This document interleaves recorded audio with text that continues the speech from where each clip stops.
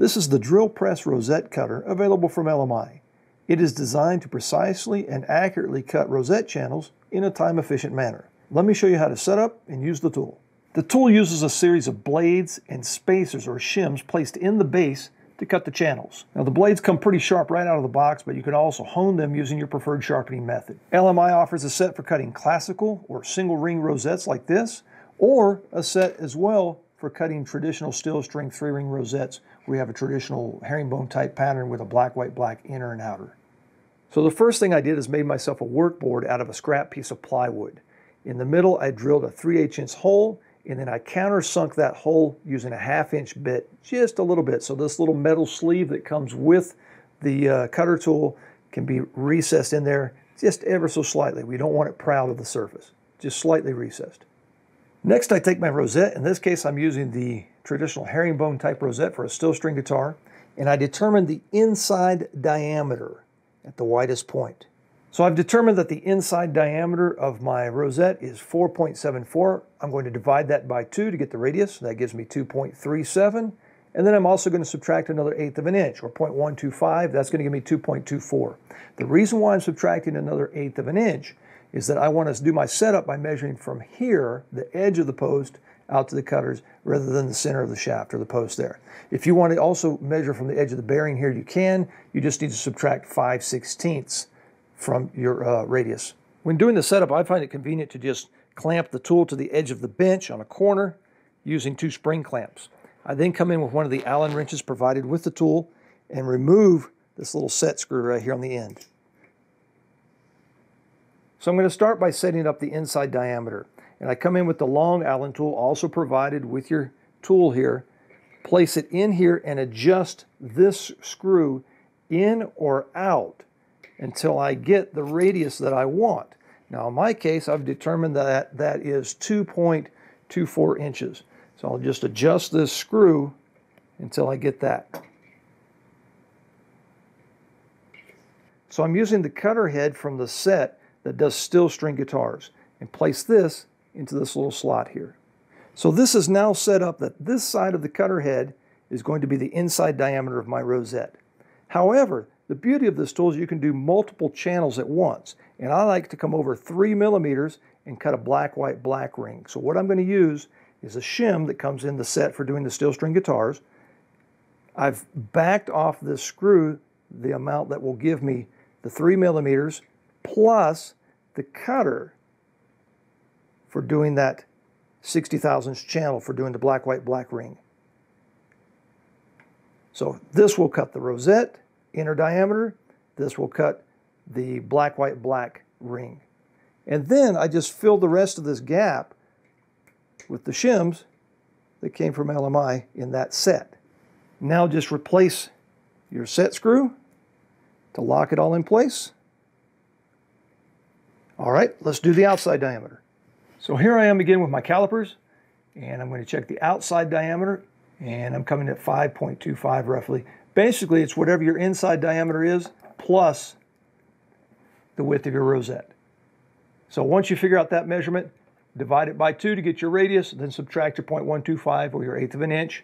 That way you can come from the edge of the shaft rather than the middle of the shaft when you're doing your setup.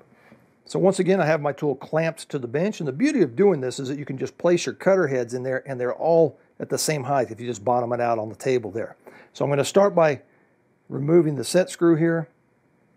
That gives me access to that inner screw inside there. I come in with the longer Allen tool. I adjust that screw in or out to give me the uh, radius that I need from the edge of the post here to there. Now what I've done is a little finagling here since I'm going to cut the outside diameter. I've placed this in here, then my cutter head, and that will give me the outside diameter of the rosette. The other side is cutting the inside diameter and the black, white, black ring. Now I'm going to put a little spacer shim in there of three millimeters, and then another cutter head, that will cut the 60 thousandth slot for the black, white, black outer ring. Now I've run out of shims, so I just made one. This is made out of ebony. You could use any type of stock or material, just place that in there.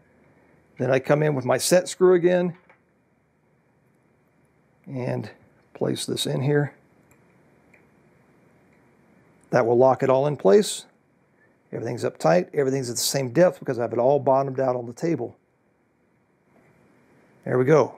Now, if you decide to do this tool to do uh, classical guitar rosette channels, those little set screws down inside there, you'll need to take one out and then put a bunch of spacers on this side. That way it allows you to get a smaller diameter, which usually the classical guitars are a little smaller than your steel string guitars. So just pull that set screw out, start stacking everything up into there a little closer for your inside diameter. Your outside diameter will be fine. Now we're ready to go to work, right? Wrong. The first thing you want to do is test. If you need to make minor adjustments, it's better to find out about it now than after you've gone to your nice expensive top. So let's go to the drill press and do some tests. It's extremely important that your drill press is set up properly. You want your table exactly perpendicular 90 degrees to the shaft of the drill press. What I'm using is just a dial caliper here that I can swing around and it tells me if my table is indeed perpendicular. I think I actually even got this tool years ago from LMI.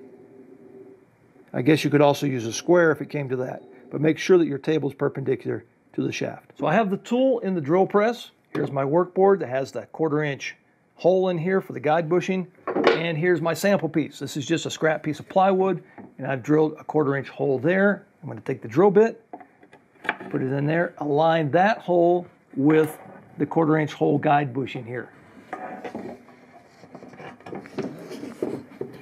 Once everything's aligned, I'm going to clamp my sample board to my work board. And now I can remove the drill bit. This then gets placed on my drill press table, raise the drill press table, and then align the hole with the shaft of the tool.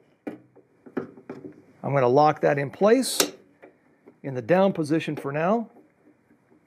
That allows me to come in and put some clamps around here and clamp this to the actual table of the drill press. To do that, I'm just using cam clamps here. Come in over the top of everything. Obviously, you don't want to get it close enough where it's going to hit the tool. Happened to a friend of mine once. With everything clamped in place, I'm now going to release my depth stop. If you want to come in, if you have the capability in your drill press to set the depth, you can go ahead and set the depth of cut to the depth of your rosette channels that you want. Also bump the RPMs down on your machine. I happen to be running at about 600 RPMs. You don't want to be running any faster than about 800 RPMs.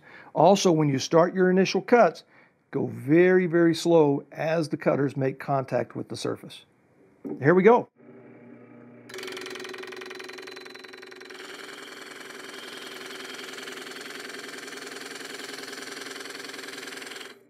Now for your initial test cut, you don't need to go very deep. Let's pull it out, check it, make sure everything's okay. You can make some final adjustments with your inside and outside diameter if you need to, then you'll be ready to go back to work.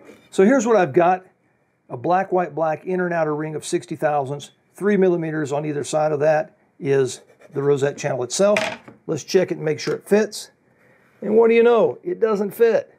You can always take more. It's hard to put it back, folks. So err on the side of caution. Looks like I need to open this channel up just a little bit. Now I need to decide, am I going to adjust the inner diameter or the outer diameter? So let me just take a quick look at that. To me, it looks like it needs to be the outer diameter. Inside diameter is looking pretty good. So it's the outer diameter. So let's do a little adjustment to the tool before we go back to work. So with my tool clamped to the table again, I'm going to come in and release the set screw. With that out of the way, I'm not going to pull my cutter heads out. And I need to adjust that outside diameter out just a little bit. This is all done by trial and error, folks. So with the screw adjusted, now I'm going to place everything back in in the correct order. In my case, the 60 thousandths cutter head. That's for the black, white, black. Then a 3 millimeter shim. Then the cutter head for the rosette itself. And then a couple of spacers here with everything in place, come in and put the set screw back in. Let's go do a test piece. So I've made my adjustments to the cutter heads. I've got everything clamped back on the table. Let's see how we did.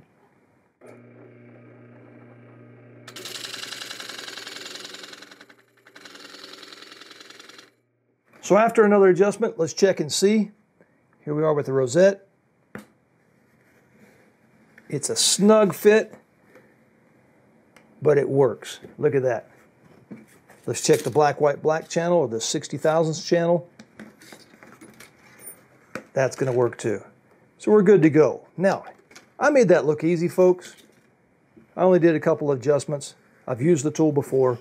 Your results may vary, may take you several attempts to get it set up just right. But once you get it set up, you're good to go. Here's another little hint. If the rosette is fitting in some parts of the channel, but not in the other parts of the channel, you don't want to adjust it and make it bigger because then it'll fit where it was tight, it'll be loose where it was already fitting. So just take a razor blade, come in, just scrape some off in the tight area, and then place it right back in, and you're good to go. Rather than cutting the channel too wide, leave it snug and scrape down the rosette. With everything now set up and tested, I can go to work.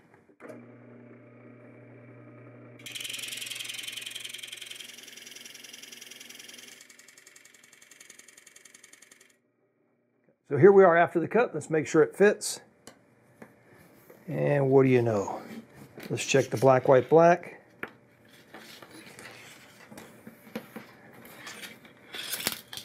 There's the outer. And here comes the inner. There it is, all ready to be glued. Now, your initial setup time will probably take you a lot longer than what I did. Also, you could probably install a rosette quicker if you're just doing one. However, if you want repeatability, this tool is a real time saver.